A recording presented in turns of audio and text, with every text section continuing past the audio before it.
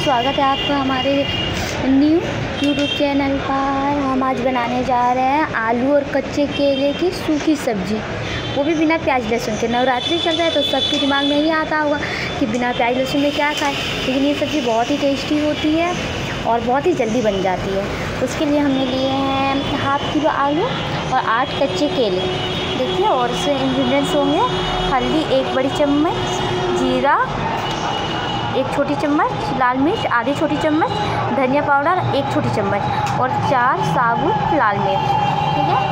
और हम यहाँ पे गैस करती कर दिए हैं, इसमें तेल डाले हैं, सौ ग्राम तेल डाले हैं, सौ ग्राम के करीबन है। और हमने आलू और कच्चे केलों को भी अच्छे से धो के काट के साफ़ करके रखे हैं। ये देखिए, आलू को हम लंबे लंबे काट लेंगे और केले को भी मोटे मोटे काट लेंगे। इसमें आलू को भी मोटे मोटे काट लेंगे।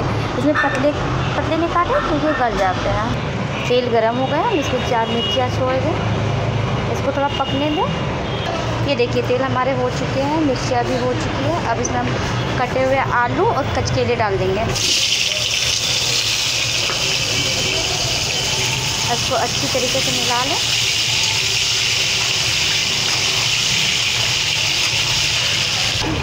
हम अच्छी तरह से मिला लिए हैं, हम गैस के फ्लेम को मीडियम में रखेंगे और इसे ढक देंगे। पाँच मिनट के पाँच मिनट बाद फिर हम इसे निकाल के देखेंगे। अब इसमें हम नमक स्वाद अनुसार डाल देंगे और अच्छे से मिला के फिर इसको हम पाँच मिनट के लिए ढक देंगे।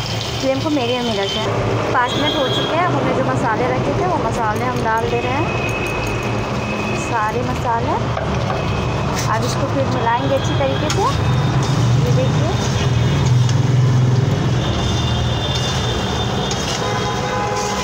अब फिर इसको पाँच मिनट तक हम ढक दें। फ्लेम को लो ही रखें, वरना मसाले जल जाएँगे। ये देखिए, हमारे आलू और कच्चे केले की सूखी सब्ज़ी बन के रेडी है।